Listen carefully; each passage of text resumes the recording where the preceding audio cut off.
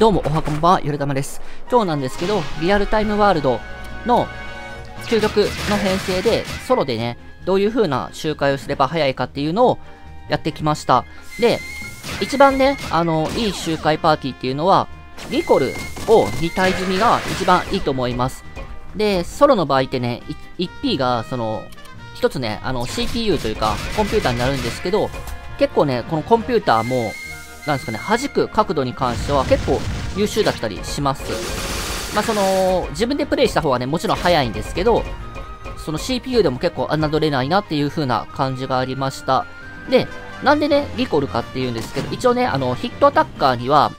その、如意棒もいるんですけど、なぜリコルかっていうと、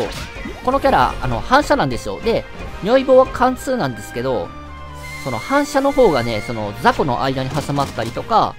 ボスの弱点の間に挟まって殴ったりとかして、その、大ダメージが出やすいです。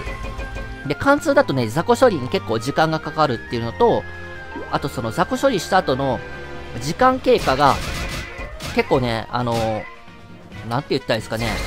雑魚処理貫通だとしにくいので、その時間経過ロスとかもあるんで、基本はね、反射おすすめかなと思います。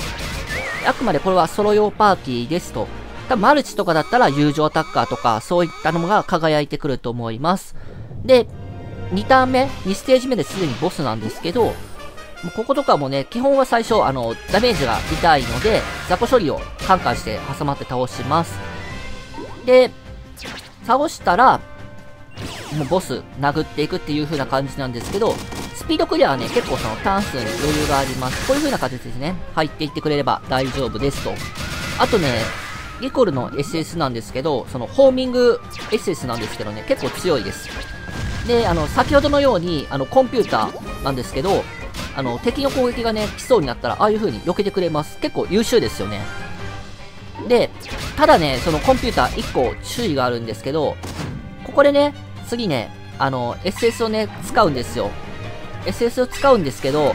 コンピューターね、なぜか SS 使ってくれませんでした。ちょっと思考回数が足りないんで、